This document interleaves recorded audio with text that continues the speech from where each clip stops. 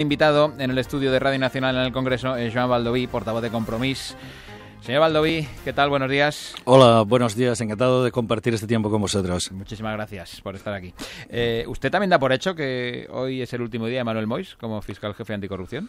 Hombre, sería lo razonable. Si sus propios compañeros de carrera, todas las asociaciones de jueces, eh, le piden que, que, dimita, si los técnicos de Hacienda están pidiendo que se investigue su sociedad, y en definitiva, cuando vemos a ir, ayer ya que el, el, gobierno ya no le respalda de la manera tan unánime como lo respaldaba, yo creo que lo razonable en el señor Mois, después de haber protagonizado en estos cuatro meses todos los escándalos posibles y haber eh, cruzado todas las líneas posibles, lo razonable sería que el señor Mois no siguiera ni un día más. Yo espero llegar a la hora de comer y que el señor Mois no sea ya fiscal general de, anticorrupción. ¿Qué, ¿Qué matices ve entre que se vaya o que le vayan? ¿Entre que renuncie o le renuncien?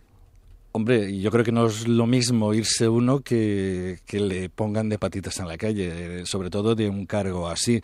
Mm, por tanto, mm, en fin, yo si fuera él, eh, si, si, estuviera en su caso, que no lo estoy, evidentemente, eh, me iría yo. ¿Y qué detalles tiene para pensar que hay una batalla de fiscales, señor Baldoví? Que es otro de los escenarios que se está poniendo sobre la mesa.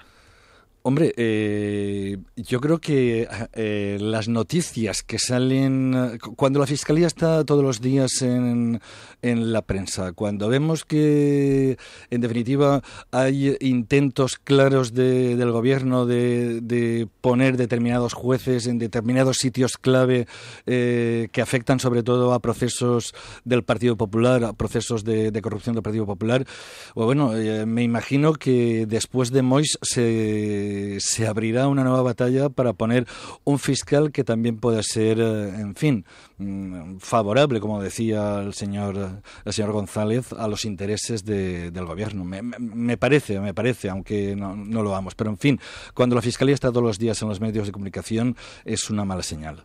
Eso ya es casi una crítica preventiva con el que pueda venir, señor Baldoví. Bueno, eh, bueno es, es eh, ponernos en prevención, porque vamos a ver, yo creo que lo que hemos visto estos últimos meses eh, es muy grave, es, es muy grave. Que en definitiva, el señor Mois probablemente, probablemente, y con datos objetivos, probablemente no era la persona idónea para ocupar ese cargo.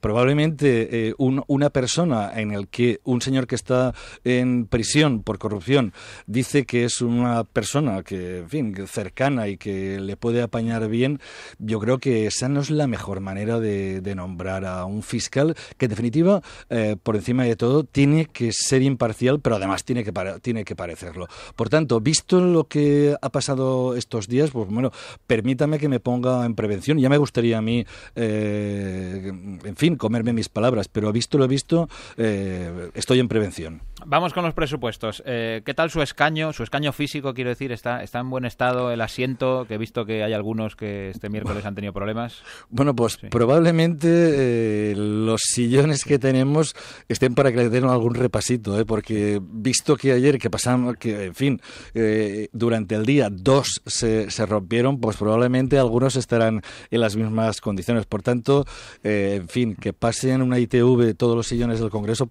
probablemente estaría bien. ¿Le dio bien siempre al botón? ¿Se equivocó en alguna votación, señor Baldoví? No, ¿verdad? No, pues, no a, pues ayer no. Y además, eh, no hice ningún tuit de equivocación porque a todos nos ha pasado a, a alguna vez y por eso yo creo que, en fin, eh, son muchas votaciones. Eh, la, eh, estuvimos pues en la primera cerca de dos horas, ayer hora y pico, y claro, son votaciones cada 15, 20 segundos y a veces, pues bueno, la cabeza se te va en algún momento y te puedes equivocar. Bueno, esta es la parte de los chascarrillos. Luego está la del mensaje que se envía con estas votaciones. Los presupuestos ya van camino del Senado. ¿Hay legislatura hasta 2019? Sí. Eh, sí, sí, sí, sí, el PSOE no, no lo intenta. Yo creo que más allá de todo, el mensaje o la conclusión que sacamos ayer es que el señor Rajoy eh, ha comprado eh, dos años y medio de, de, legislatura, prácticamente para acabar la legislatura. Y por tanto, o eh, el Partido Socialista se decide a hacer alguna cosa, o el señor Rajoy agotará prácticamente esta, esta legislatura con más o menos sobresaltos, con, eh, en fin, con tener que comparecer delante de un juzgado, con tener que comparecer delante de la Comisión de Investigación de Financiación Ilegal del Partido Popular, pero en definitiva siendo presidente de gobierno, controlando el boletín oficial del Estado y presidiendo el Consejo de Ministros, que es donde se toman las decisiones. Mientras que el PSOE lo intenta o no, el que lo intenta es Unidos Podemos. En 12 días tenemos debate de la moción de censura. Eh, ¿Qué va a votar Compromís, por cierto? Eh, nosotros hemos dicho siempre y no, no, vamos a cambiar nuestra, eh, en fin, nuestra opinión. Nosotros estaremos en cualquier moción, cualquier, en fin, cualquier intento organizado que sirva para desalojar al Partido Popular de, de las instituciones. Yo creo que lo que estamos asistiendo aquí, creo que ningún país europeo homologable con nosotros sería posible. Eh, yo creo que eh, por menos eh, hubiera habido muchas más decisiones. Por tanto, nosotros entendemos que se han cruzado líneas muy graves, como la utilización del aparato del Estado para espiar a un adversario político, como la utilización de la Fiscalía Anticorrupción para afinar, en fin, las cuitas pendientes de algunos miembros destacados del Partido Popular. Y yo creo que eso merece una moción de censura. Nosotros añadimos, eh, mucho mejor si es una moción de censura que sea capaz de, ganarse. Por ahí le preguntaba, porque al menos con los datos que tenemos, la moción de censura no va a ser capaz de ganarse. No eh, sé si eso ha enfriado las relaciones entre Unidos Podemos y Compromís. No, vamos a ver, más allá de, en fin, de pequeñas, eh, de pequeños desencuentros o pequeñas escaramuzas, nosotros como partido autónomo eh, respetamos muchísimo la opinión de Podemos, respetamos los tiempos de Podemos, respetamos las decisiones que toma Podemos y lo único que pedimos es el mismo respeto. Nosotros, eh, en definitiva, tomamos una decisión y decimos lo que mm, para nosotros nos parece de sentido común. Eh, evidentemente ah, hay que criticar al Partido Popular, hay que mm, ponerle sobre las cuerdas, pero mm, lo que peor le sentaría al Partido Popular es lo que hicimos en Valencia, desalojarlo de las instituciones y gobernar, oiga, eh, gobernar eh, con toda tranquilidad, porque si de algo eh, puedo hablar yo bien en, en, Valencia es del gobierno del Botánico que compartimos PSOE, Compromís y, Podemos, y se está gobernando razonablemente bien en, las, en, la Generalitat, en el Ayuntamiento, se pagan las facturas, se abren todos los días los colegios, los hospitales, en, definitiva, gobernamos y además gobernamos mejor que el, que el Partido Popular. Y el hecho de que haya ganado Pedro Sánchez, eh, Chimo Puig eh, optaba por Susana Díaz. Eh, ¿Poner algún tipo de riesgo el, el, pacto y el gobierno del Botánico no? Eh, le voy a contestar con absoluta franqueza. Yo creo que, no. El, pacto del botánico eh, está blindado. Eh, después de 20 años del Partido Popular y con saliendo aún cada día facturas de los cajones, escándalos que siguen, siguen apareciendo del Partido Popular, yo creo que nadie, nadie de las personas que, que votó a, a formaciones mm, para desalojar al Partido Popular, mm, para el cambio, nadie entendería que no fuésemos capaces de agotar esta, esta legislatura. Y por tanto, no creo que exista. Además, insisto, las relaciones, eh, por ejemplo, entre Mónica Oltra y Chimo Puig, eh, me consta que son eh, cordiales, que son de lealtad y se sigue gobernando, ya digo, desde la moderación, desde la serenidad y atendiendo a los problemas de las personas por encima de los problemas de, de los partidos. Charlando con Joan Valdoví, portavoz de Compromiso en el Congreso. Esther Esteban, cuando quieras. Sí, señor Valdoví. Hola, Esther. Bueno, estamos ante el político mejor valorado, ¿no? Y dan, muchas ganas de... Echese a temblar, ¿no? El CIS. No, no, le digo que dónde está el secreto de su éxito, ¿no? Que eso, hablar con la persona mejor valorada de la política española, pues hay que hacerle esa pregunta obligada, ¿no? Pero además le quería preguntar por el tema de Cataluña. ¿Con qué grado de preocupación ve usted el tono en el que el presidente de la Generalitat ayer, habló de utilización de la fuerza como si estuviéramos en un estado militar? Bueno, eh, a la primera pregunta lo llevo con humildad y yo creo que probablemente intentamos desde Compromís hacer las cosas con sentido común, intentamos, eh, en definitiva, acercar posturas entre diferentes y probablemente eso sea lo que la gente reconozca, la gente que me conoce, siendo también eh, absolutamente consciente que me conoce, pues bueno, una parte, una parte significativa, pero en fin, tampoco me conoce todo, todo el mundo. Por tanto, lo llevo como una unidad, pero con mucha alegría e insisto siempre en el mensaje. Ya está bien que los políticos valencianos diéramos buenas noticias eh, de, la política. Y en el segundo caso, pues la verdad es que asisto con preocupación. No, no, no, no me gusta la escalada eh, de, en fin, de declaraciones. Yo creo que hace mucho tiempo que mm, alguien debería haber parado esto eh, y debería haber puesto eh, a, los contrarios a hablar.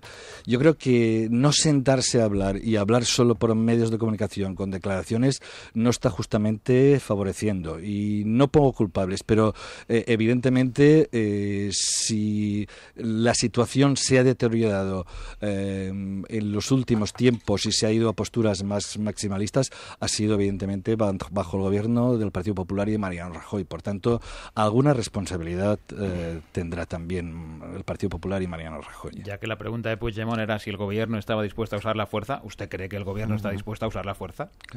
Hombre, no me gusta, no me gustaría, de verdad, porque usar la fuerza para que la gente, contra la gente que, quiere votar, pues la verdad es que sería un mal mensaje.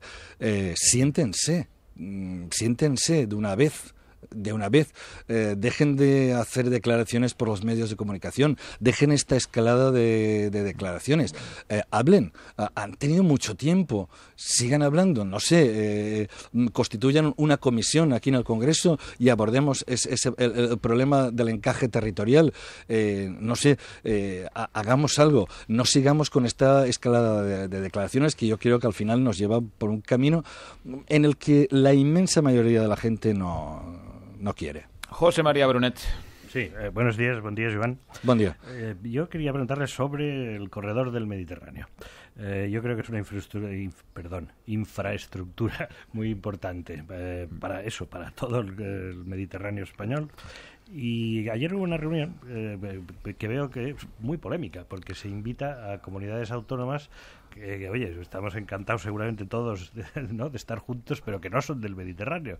Y que, en fin, estaban pues ahí contrastando pareceres y creo que con eh, la oposición de la consellera ¿no? de, Habitache, creo que se llama, ¿no? en la Comunidad Valenciana y Obras Públicas, eh, que, es la señora María José Salvador, que señaló ¿no? Como elemento polémico pues eh, que, en fin, que, se pensaba que hacer con el corredor del Mediterráneo con la presencia de comunidades que no forman parte de, ese lugar geográfico. Bueno, yo lo que quiero preguntarle en definitiva es si tienen ustedes esperanzas de que esta generación vea hecha esta infraestructura importante o si empezamos mal. Bueno, se empezó mal, eh, yo, creo. Eh, yo creo que a veces las infraestructuras en este país eh, no se planifican con criterios económicos, con, criterios de retorno económico. Creo que las infraestructuras de este país ya solo hay que ver, en fin, la España radial y yo coincido con el con un empresario de, mi comunidad autónoma, con el señor Juan Roch, presidente de Mercadona, en el que dice, bueno, hay que pasar de la España radial a la España circular o hay que completarla. Eh, vamos a ver, eh, no se explica, no se explica que en un país la segunda y la tercera ciudad eh, más importantes no estén conectadas. No se explica que todos los puertos del Mediterráneo están en el mar, en el Mediterráneo, y que en definitiva ahí es donde está el tráfico más importante de, mercancías, donde entran y salen las mercancías, y que no esté hecho este corredor por puro criterio eh, e- económico. Y no lo digo yo, ya lo dijo el Banco Mundial en el año 62, cuando construyó la primera autopista del Estado justamente por el Mediterráneo, porque evidentemente es donde se concentra una parte importante del Producto Interior Bruto, una parte importante de la actividad económica, una parte importante, en definitiva, del tráfico de, de mercancías. Y por tanto, lo lógico, si el gobierno pensara o los gobiernos pensaran con criterios eh, económicos y además eh, con criterios de que podamos contribuir eh, estas regiones a incrementar el PIB del, conjunto, yo creo que esta, es- esta infraestructura debería estar hecha ya hace muchos años. Y además, acabo, lo dijo la vicepresidenta Mónica Oltra, corredor mediterráneo por el lado del mar. Otra cosa será otra cosa, pero el corredor mediterráneo debe de pasar por, por el Mediterráneo. Eso es, en fin, de... Parece una obviedad, ¿no? Parece una, parece una obviedad. Arsenio Escolar. Buenos días, señor Baldoví. Buenos días. Decía hace unos minutos a preguntas de Alfredo que de Alfredo Menéndez que eh, Mariano Rajoy tiene garantizada la estabilidad parlamentaria. Si el PSOE no lo intenta, estoy leyendo literal lo que ha dicho, o si el Partido Socialista se decide o no a hacer alguna cosa. Eh, nos da la impresión, mm, creo que a todos, que eh, esa alguna cosa posible en las próximas semanas no va a ser, apoyando la, moción de censura de Podemos. Pero le pregunto, ¿usted ve en el nuevo Partido Socialista, mm, mm, eh, entiendo por nuevo el, el Partido Socialista que sale de las primarias en las que ganó Pedro Sánchez, eh, algún atisbo de que a medio plazo pueda intentarlo? Eh, sobre todo considerando que, que, eh, a lo mejor tiene eh, alguna impresión de primera mano, dado que tiene ahora al lado como portavoz del, eh, siquiera provisional del PSOE, a su paisano José Luis Ábalos.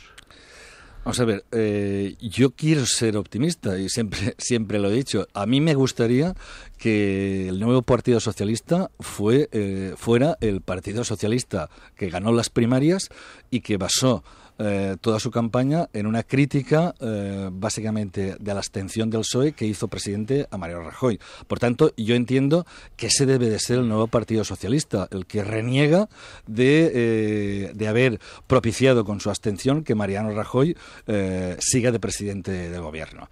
Dicho esto, pues bueno, ayer vi una señal que no me gustó y es que el Partido Socialista había firmado, como pedía la comisión de investigación de, del exministro Fernández Díaz, que eh, los trabajos eh, se aplazaran hasta, se ampliara el plazo para presentar las conclusiones hasta diciembre y vimos ayer que cambió.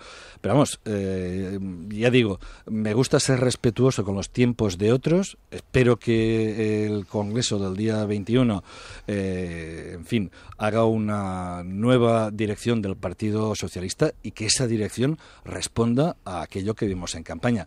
Porque si no, el señor Rajoy eh, eh, pasará, lo pasará peor unos días y lo pasará peor. Pasará peor el día que tenga que ir a declarar delante del juez, lo pasará peor el día que tenga que venir aquí al Congreso a declarar eh, delante de la Comisión de Investigación de la financiación ilegal del Partido Popular. Pero al final el señor Rajoy presidirá el Consejo de Ministros, tendrá en su poder el boletín oficial del Estado y en definitiva tendrá asegurados unos presupuestos que le garantizan prácticamente hasta el 2019, mediados finales de 2019, su, su en fin, su, mm, su presidencia y su, y su gobierno.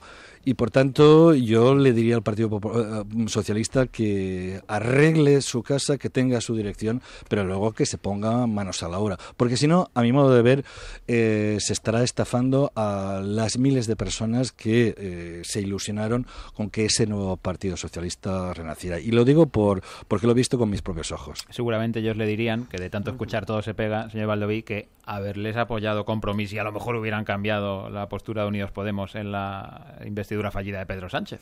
Bueno, es- esto lo he leído muchas veces. Yo también. Eh, eh, yo, yo- yo le recuerdo a quien dice esto que fuimos los, los únicos que nos sentamos a hablar eh, del acuerdo entre Ciudadanos y el Partido Socialista. Nos reunimos las tres comisiones negociadoras. Y le recordaría al- a quien diga esto que Ciudadanos fue muy taxativo. Eh, de este acuerdo no se cambia ni una coma. Si usted cree que esa es la mejor manera de, en fin, de llegar a un acuerdo, estos son lentejas, las tomas o las dejas y no me dejas que en definitiva pueda cambiar ni una sola coma de ese, de acuerdo, pues hombre, no es la mejor manera de... Y, insisto, no se dejó nunca en ningún momento que eh, esa opción que no fuera con ciudadanos, es decir, esa opción que sí que ha sido posible en Valencia, que ha sido posible en las Baleares, que ha sido posible en tantos ayuntamientos del Estado español y que es posible en Portugal y que es posible en Portugal que esa opción fuera posible aquí. Algunos eh, tienen una responsabilidad muy grande en que ni siquiera se dejara atisbar esa posibilidad. Y Graciano Paloma. ¿Qué tal? Buenos días, señor Hola. Buenos días, señor Graciano. Vamos a ver.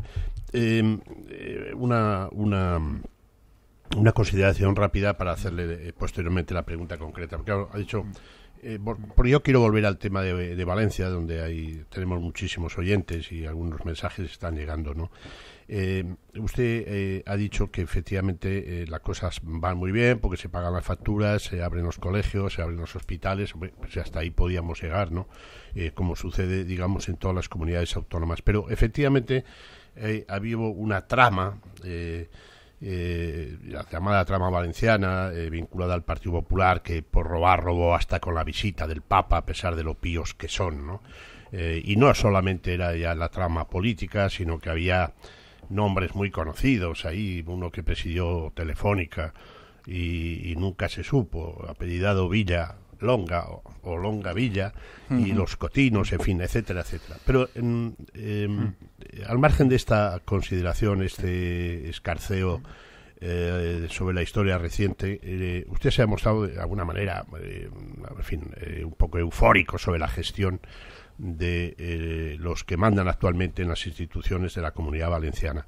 La pregunta concreta es, mm, dígame tres cosas importantes eh, que se hayan hecho o se estén haciendo en este momento? Cosas concretas. Eh, sin lugar a dudas. Por ejemplo, gratuidad de los libros de, texto. cosa que se va a hacer ahora, por lo menos ayer se anunció en la Comunidad de Madrid, pero allí llevamos ya un año. Eh, mm, para todos. sí, sí, sí, sí. se, ha, se ha quitado el copago farmacéutico y un millón de personas, un millón de personas, insisto, allí han dejado de pagar por sus medicinas. Eh, la gente que acude a los centros de día ha dejado de pagar por asistir a los centros de día. Eh, se ha retornado la tarjeta universal, la sanidad para, para todos. Eh, yo creo que son cosas muy importantes que afectan a la vida diaria de estas personas. Por tanto, muy orgulloso de la gestión del gobierno del Botánic. Joan Baldoví, nuestro invitado esta mañana en las mañanas de Radio Nacional de España. Muchísimas gracias, señor Baldoví. Muchas gracias, encantado.